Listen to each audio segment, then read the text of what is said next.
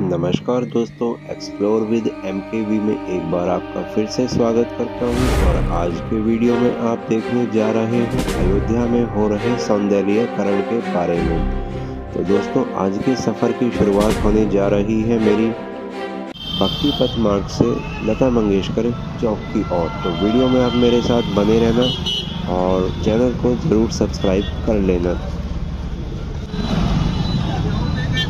ये है दोस्तों भक्ति पथ मार्ग, जो कि सरयू घाट की तरफ़ जा रहा हूँ मैं, उसी डायरेक्शन में, जहाँ सरयू नदी हैगी तो वहाँ घाट की तरफ़ जा रहा हूँ, हनुमानगढ़ी से होता हुआ। और यहाँ पर कैसी सजावट की हुई है, वही सब दिखाने के लिए ये वीडियो आपके सामने प्रस्तुत करने जा रहा हूँ। दोस्तों, सबसे पहले तो आपके साथ एक जानकारी शेयर करना चाहूँगा। अयोध्या में किसी भी साइड से जो भी रास्ते हनुमानगढ़ी और श्री रामलला मंदिर की ओर जाते हैं। उनके नाम बदल दिए गए हैं। इसका भी नाम भक्ति पथ मार्ग रखा गया है और सड़क के दोनों ओर बने हुए दुकानें, मकान या जो बड़े भवन हैंगे, उनको एक जैसा रंग दिया गया है। ताकि आपको इस आधुनिकता के दौर में त्रेता युग का आभास होता रहे। सड़क पर हो रही इस तरह की फूलों के तोरण द्वार भी आपको थोड़ी थोड़ी दूरी पर देखने को मिल जाएँगे।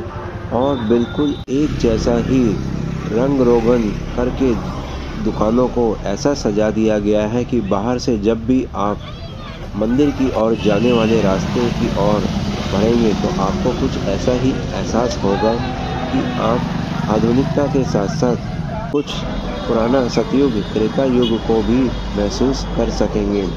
सड़क पर इस समय सभी लोग पैदल यात्रा करके लता मंगेशकर चौक की ओर बढ़ रहे हैं। उसका कारण ये है कि वहाँ पर कुछ अनोखी सजावट की जा रही है। असली फूलों के द्वारा, जी हाँ दोस्तों, प्राकृतिक फूलों के द्वारा रोड पे हो रहे इसी सौंदर्यकरण को दिखाने के लिए मैं आपको भी लेके जा रहा हूँ। पैदल चलता हुआ लता मंगेशकर की चौक की ओर। आप देख सकते हैं कि अभी भी काफ़ी दुकानें खुली हुई हैं और जो दुकानें बंद हैं, उन पर श्री राम जी से संबंधित कुछ चिन्ह अंकित किए हुए हैं दुकान के शटर के ऊपर। तो दोस्तों, यही सब साज सज्जा को देखते हुए, फूलों के तोरण द्वार को देखते हुए हम आगे बढ़ेंगे। और इस सजावट को निहारने के लिए कुछ पल वहाँ पर ज़रूर बिताएँगे।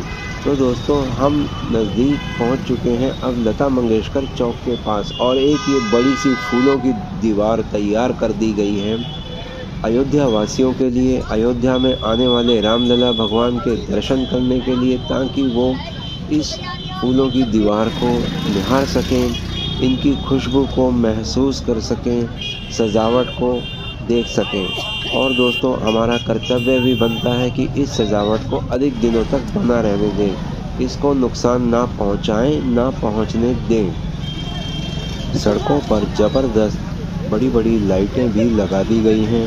और पब्लिक भी आप देख सकते हैं कि लता मंगेशकर चौक पर काफ़ी ज़्यादा पहुँच चुकी हैगी।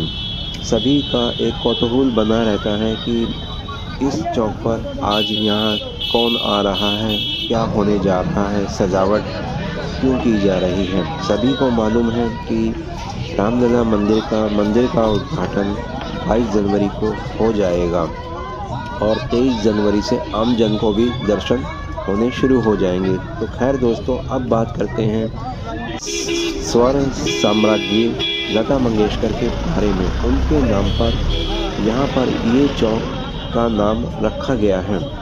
और क्योंकि वो स्वर साम्राज्य हैं तो उन्हीं की जो एक पसंदीदा वाद्य यंत्र है, जिसका नाम है वीणा, उसको यहाँ पर लगाया गया है। इस वीणा का साइज़ लगभग 40 फीट लंबा हैगा और कई टन वजनी ये वीणा यहाँ पर लगाई गई है। पास में ही यहाँ पर हनुमान जी की मूर्ति का भी निर्माण किया जा रहा है, जिसपे राम जी और लक्ष्मण जी उनके कंधे पर बैठे देखे अभी आपने। तो बात करते हैं यहाँ पर लता मंगेशकर चौक के बारे में। मीडिया का जमावाड़ा तो यहाँ हर समय बना ही रहता है। आने वाली पब्लिक भी यहाँ पर बिना रुके आगे नहीं बढ़ पाती, क्योंकि वो इस वीणा को देखकर चकाचौंध भी हो जाती है और इस पर भी बहुत सुंदर काम भी किया गया है। सुनहरी रंग की यह वीणा देखने में बहुत सुंदर लगती हैगी आप यहाँ पर देख भी सकते हैं कि लगातार यहाँ पर सजावट के साथ साथ सफ़ाई का भी विशेष रूप से ध्यान रखा गया है। प्राकृतिक फूलों से इस चौक के सौंदर्यकरण को बढ़ा दिया गया है और इसकी सुंदरता को बनाए रखने के लिए हम सबका सहयोग भी बहुत ज़रूरी है। दोस्तों भक्ति पथ मार्ग पर चलते हुए लता मंगेशकर चौक तक जो मैंने आपको इस मार्ग की सौंदर्यकरण को दिखाया, वो आपको कैसा लगा अवश्य बताना।